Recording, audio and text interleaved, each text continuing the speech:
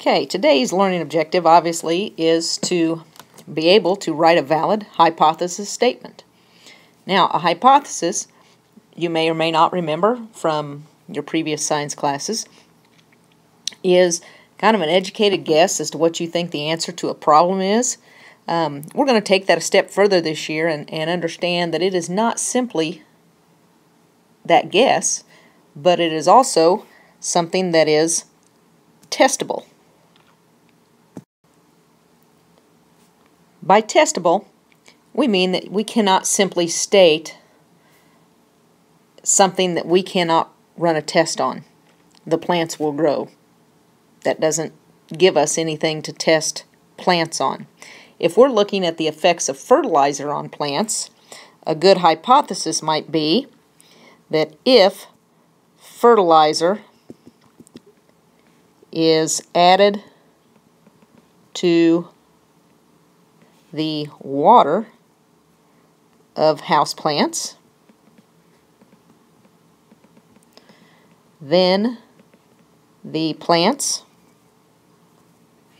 will grow taller. That becomes a testable statement because I'm not just testing whether or not the plants are growing taller. I'm testing a group of plants that have fertilizer added to the water and a group of plants that do not have fertilizer to the, added to the water. We will also find that a hypothesis correctly written is written as an if-then statement. As I said in the last slide, if fertilizer is added to the water for house plants, then the plants will grow taller. That is an if-then statement. Um, one further step that I'm going to kind of encourage you to take, but it will mainly be as you get a little older and have a little more background knowledge about the things you're studying, is to add the because in there. If fertilizer is added to the water of houseplants, then the plants will grow taller. Because, and then you would explain why that's going to happen, such as because nutrients in the fertilizer are absorbed in the roots of the plants, something of that nature, or because the fertilizer has X and Y nutrients and the water does not. Something something that explains what the because is. Um, again, that's that's more as you get a little bit older, but I do want to introduce it to you this year. A hypothesis um, in it will also include a couple of things called variables. There are independent variables, there are dependent variables. There's also something called a control variable. We will talk a lot more about that later.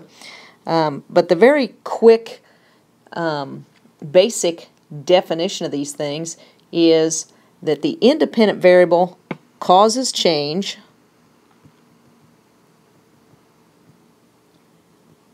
and that the dependent variable is basically what we are measuring.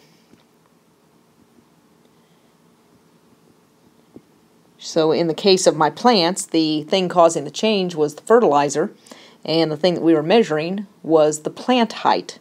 So what we get in a um,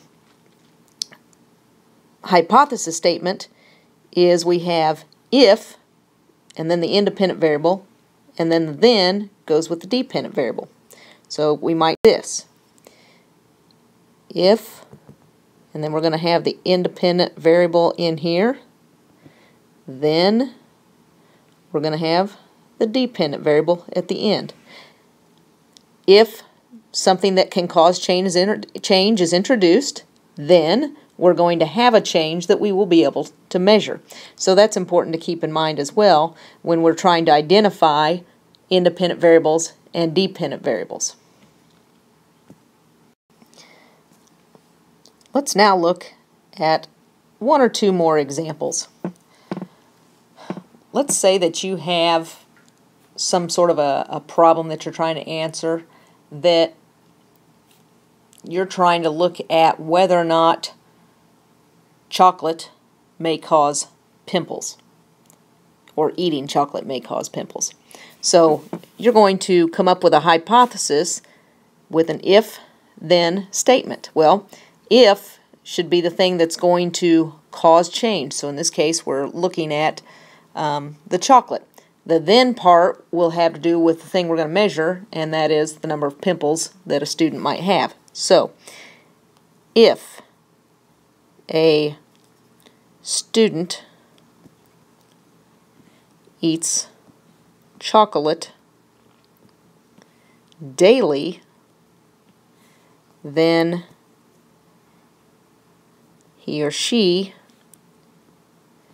will have an increased number of pimples. And when we do that, the independent variable is again the chocolate.